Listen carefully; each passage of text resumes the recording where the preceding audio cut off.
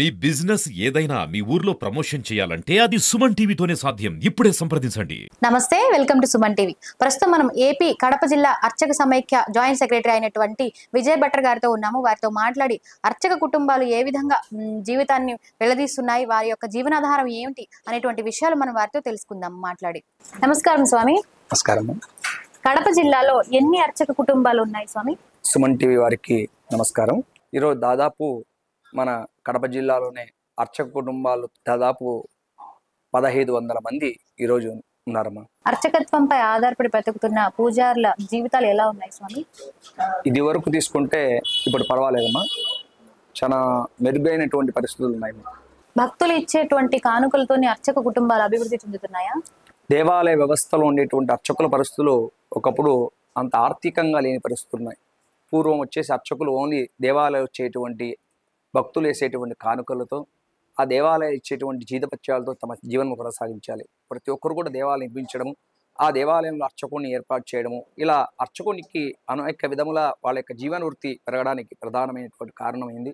అందులో భాగంగానే ఈరోజు భక్తులు వచ్చేటువంటి దేవాలయం సమర్పించేటువంటి కానుకలు ఒక రకంగా చూసుకుంటే అర్చకులకు అందుతున్నాయి. ఆ కానుకలతో ఈరోజు కొన్ని దేవాలయాలు ఏం చేస్తున్నారంటే అది ఆ దేవాలయం సంబంధించిన నిర్వాహకులు తీసేసుకొని ఒక జీత రూపంగా వాళ్ళ కింద నెలకు పదివేల రూపాయలు ఐదు వేల రూపాయలు పదివేల రూపాయలు ఇస్తూ దీన్ని నిర్ణయిస్తూ ఆ వచ్చేటువంటి ప్లేట్ కనెక్షన్ అంతా కూడా వాళ్ళు దేవాలయం వాళ్ళు నిర్వాహకులు తీసుకుంటున్నారు. ఇది చాలా మంచి పద్ధతి కూడా కాదని మేము అర్చకుల తరపున మేము అడుగుతున్నాం. ఎందుకంటే ఆ ఇచ్చేటువంటి పదివేలు ఐదు వేల రూపాయలతో అర్చకునికి జీవనం జరగదమ్మా. కాబట్టి ఆ ప్లేట్లో వచ్చేటువంటి భక్తులు వేసేటువంటి కానుకలు చాలా వరకు అక్కడ ఉండేటువంటి అర్చకులను చూసే భక్తులు కానుకలు వేస్తారు. వేసేటటువంటి కానుకలు కొద్దిగా వచ్చే జీతం కంటే కొద్దిగా ఎక్కువ ఉంటుంది.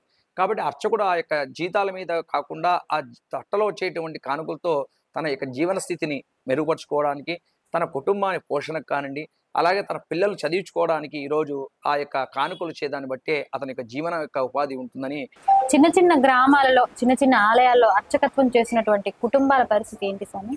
ఎందుకంటే గ్రామీణంలో ఉండేటువంటి చాలా మంది కూడా వాళ్ళ యొక్క జీవనోపాధి కొరకు వాళ్ళ యొక్క పిల్లల చదువుల కొరకు ఈరోజు పట్టణాల వలస వెళ్ళిపోవడం జరిగింది. చాలా ఒక్క చాలా వరకు గ్రామీణ ప్రాంతాల దేవాలయాలన్నీ కూడా ఈరోజు అక్కడ భక్తులు ఎవరు వెళ్ళలేని పరిస్థితిలో ఉంది. అక్కడ అర్చకుడు ఒకడే ధూపదీప నివేదన చేసుకుంటూ ఆ యొక్క దేవాలయాన్ని అతను పోషిస్తున్నాడు.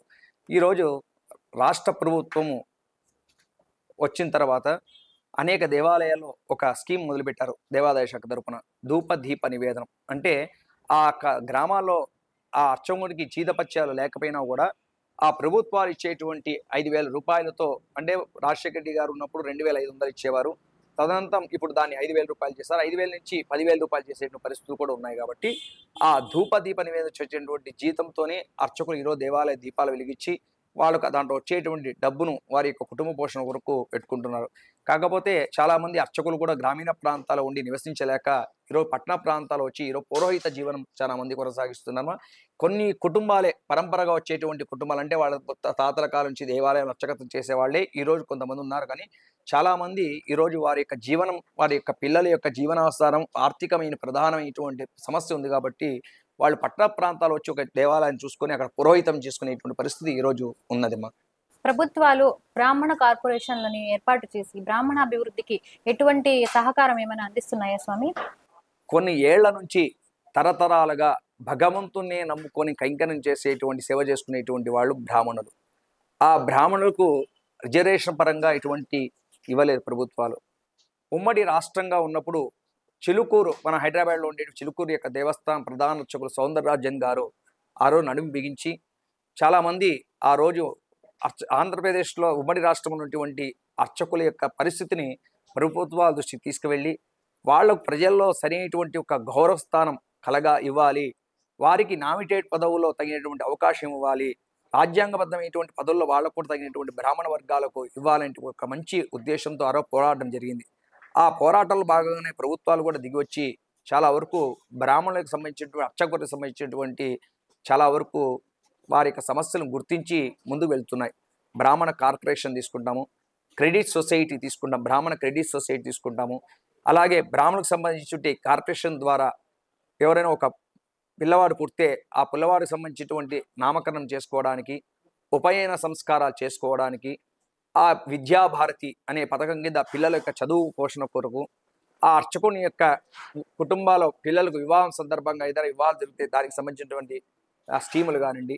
అలాగే ఎవరైనా మరణిస్తే అర్చ కుటుంబాలు తగినటువంటి వారికి గరుడ స్కీముల ద్వారా అందించడం. ఇలా అనేకమైనటువంటి కార్యక్రమాలను కూడా ప్రభుత్వ స్వీకారం చుట్టి ఈ యొక్క కార్యక్రమాన్ని నెట్టుకొస్తున్నాయి. కానీ ఈరోజు బ్రాహ్మణుల యొక్క పరిస్థితి మాత్రం అలానే ఉందమ్మా.